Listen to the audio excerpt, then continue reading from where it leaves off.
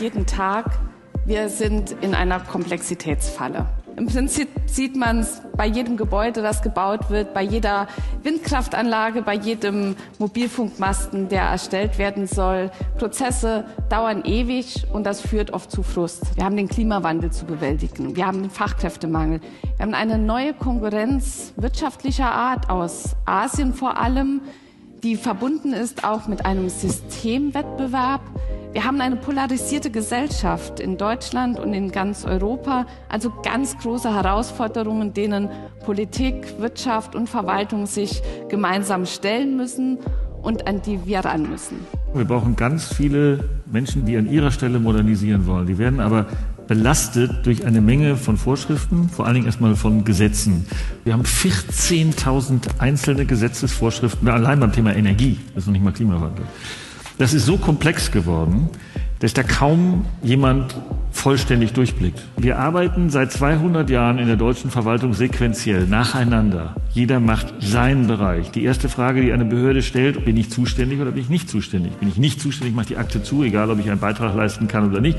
Bin ich aber zuständig, bin ich selbstverständlich nicht für den Gesamterfolg zuständig, sondern ich bin für irgendein Teilergebnis vollständig. Der Staat, die Verwaltung, Politik müssen sich selbst ändern, damit wir all die großen Herausforderungen bewältigen können. Deswegen sagen wir, wir müssen uns bei uns selber anfangen. Und wir haben, Neustadt gibt es jetzt zwei Jahre, angefangen bei der Registermodernisierung. Sie kennen das, 220 Register in Bund, Länder und Kommunen, alle verteilt, keines kann miteinander sprechen, nichts ist interoperabel, äh, nichts ist standardisiert. Es gibt, wenn wir offene Standards haben, wenn wir Interoperabilität haben, die Möglichkeit, dass Software auch in verschiedenen Systemen zum Einsatz kommt. Dafür braucht es bildlich einfach gesprochen den App Store für die Verwaltung. Der wird jetzt geschaffen. Im März wurde der GovTech Campus hier in Berlin gegründet. Das ist eine gemeinsame Einheit von Bund und Ländern. Sowas gab es noch nie im föderalen äh, System, gemeinsam die Themen anzugehen. Und der vernetzt sich dann auch mit den vielen Startups, mit den vielen Unternehmen, die Lösungen schaffen und äh, stellt diesen App Store zur Verfügung. Ein wichtiger Punkt dabei ist natürlich, sind Open Source Lösungen. Wir wollen digital souveräner werden. Deshalb äh, wird jetzt das Zentrum für digitale Souveränität geschaffen und in meinen Augen auch ein echter Meilenstein für mehr digitale Souveränität und Interoperabilität ähm, quer über alle Bereiche hinweg und vor allem eben im föderalen System. Und ein kleiner Teil dessen, was wir uns vorstellen, wenn wir über neue Gesetzgebung nachdenken. Denn natürlich geht das weit über den Digitalcheck oder Digital-TÜV hinaus.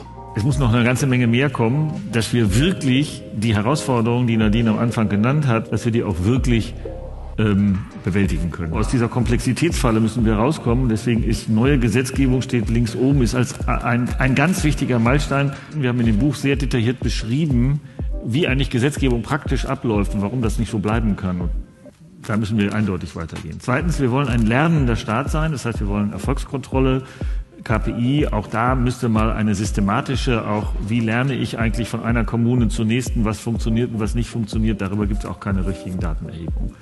Dann kommt ein ganz, ganz zentraler Punkt. Wir müssen die Entscheidungsfindung auf allen Ebenen völlig neu aufbauen. Wir haben hunderte von Gremien, die es alle in den in Gesetzen und Grundgesetzen nicht gibt.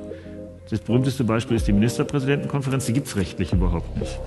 Mit der Folge, dass alles einstimmig entschieden werden muss. Die tagen und dann tagen sie ein halbes Jahr lang wieder nicht und dann tagen sie weiter. Dann kann man sich ja vorstellen, das hat mit Agilität und so gar nichts zu tun. Und auch dieses Einstimmigkeitsprinzip, das da drin liegt. Wir haben kein Entscheidungsgremium, also muss alles einstimmig erfolgen, muss weg. Und dasselbe Thema betrifft das Thema technische Standards ist unser letzter Punkt. Das Thema technische Standards ist entscheidend. Sie kennen alle das Internet. Es hat technische Standards, aber es ist keineswegs einheitlich und es ist keineswegs zentral. Das haben wir für die öffentliche Verwaltung gar nicht. Wir haben uns noch nicht mal darauf geeinigt, wie wir Vornamen abspeichern.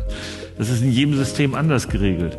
So gibt es keine gemeinsame Architektur. Das geht nicht nur um Schnittstellen, sondern es geht darum, dass Systeme sich von alleine miteinander verstehen, so wie wir das aus dem Internet kennen. Das brauchen wir dringend für die Verwaltung und haben wir leider nicht.